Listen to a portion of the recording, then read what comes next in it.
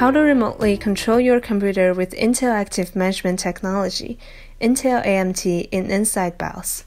Remotely controlling one computer from another is beneficial in many aspects. For example, a computer issue can be solved faster with a lower cost of services.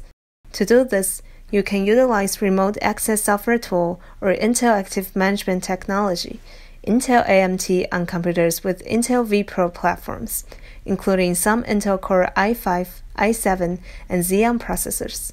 Please check your processor specification to make sure it is Intel vPro platform eligible. This video shows how to remotely control your computer with Intel AMT in Insyde BIOS. First step is to enable Intel AMT on the computer you want to connect to, called a client. Second step is to install a tool on another computer which will connect to the client and control it, called the host. Once that's done, the host can connect to the client and control it using the tool. First, we have to enable Intel AMT in the client's BIOS. Please follow the steps below to enter BIOS setup utility. First, please turn on the client or restart it if it is already on.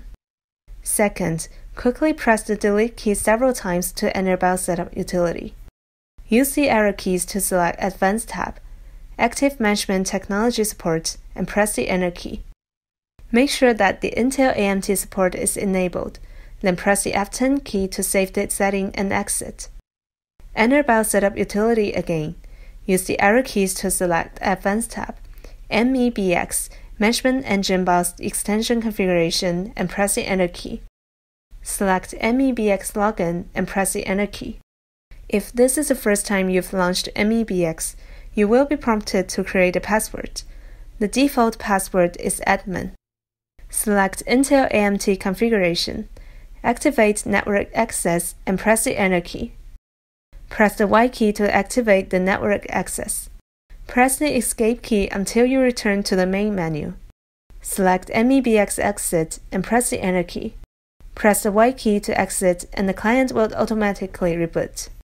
Next step is to run the Intel Management and Security Status IMSS program in the client's OS. If IMSS is not on your system, please visit our website to download the Management Engine driver. Click the General tab. You can see that Intel Active Management technology is enabled. Click the Intel AMT tab. You can see that connection status is connected. Leave the IMSS program open because it will generate a user consent code for connection later. Next step is to install Mesh Commander on the host. Download the latest version of Mesh Commander from its website. Install and run the program. Click the Add Computer tab. Create a friendly name for the client. Enter the IP address of the client at hostname field. Enter the MEBX password created for the client. Click OK. Click Connect to proceed. Next, click Remote Desktop tab and connect. At the same time, a pop-up window with the user consent code will appear on the client screen. Enter the user consent code in the host and connection between the two computers will start. You will see the screen of the client on the host. The client will have alternative red-yellow lines around its screen to indicate that it is under remote control.